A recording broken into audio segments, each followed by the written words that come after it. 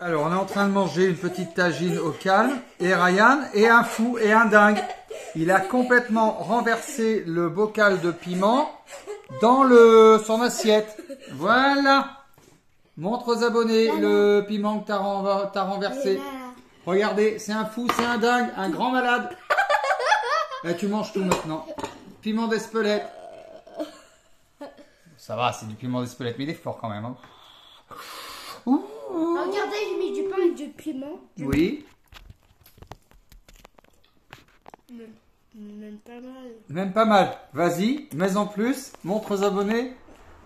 Toi, t'as bien. Alors, Ça fait pas mal. ça fait pas mal, au calme.